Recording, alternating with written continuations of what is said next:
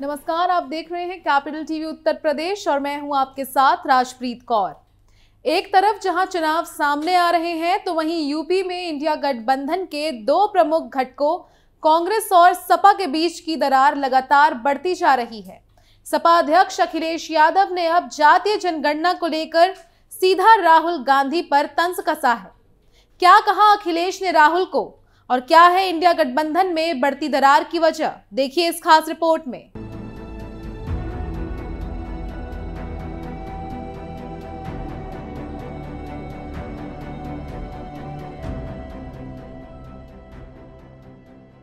लोकसभा चुनाव से पहले यूपी में इंडिया गठबंधन के दो प्रमुख घटकों, कांग्रेस और सपा के बीच की दरार लगातार बढ़ती जा रही है।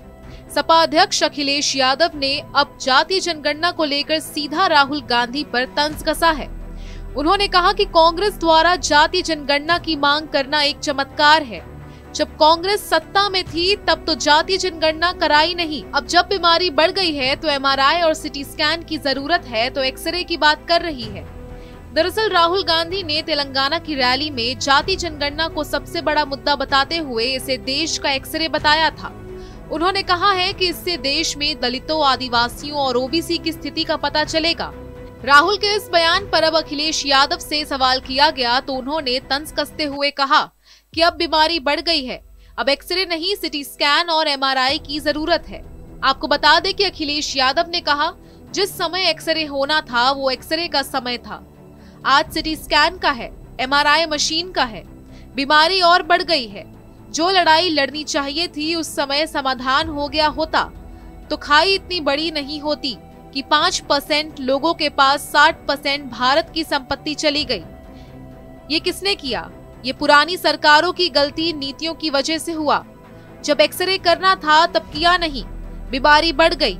आज एमआरआई सिटी स्कैन की ज़रूरत है। मुझे उम्मीद है जब कभी भी समाजवादियों को मौका मिलेगा, सबसे पहले जातीय जनगणना कराई जाएगी। यही नहीं, अखिलेश ने ये भी कहा, कांग्रेस वो पार्टी है जिसने आज़ादी के बाद कभी जातीय जनगणना नहीं कराई। लोकसभा में नेताजी शरद यादव, लालू यादव जी जब जातीय जनगणना की मांग कर रहे थे तो कांग्रेस ने नहीं कराई।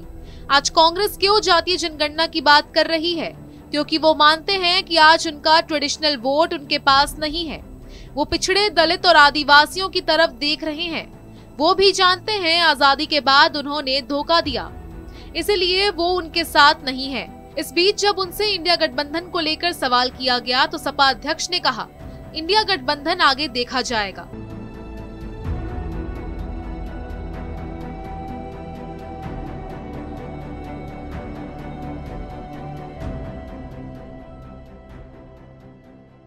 एक तरफ़ जहाँ समाजवादी पार्टी के अध्यक्ष अखिलेश यादव ने जातीय जनगणना को लेकर कांग्रेस पर तंज कसते हुए कांग्रेस द्वारा जातीय जनगणना की बात को एक चमत्कार कहा।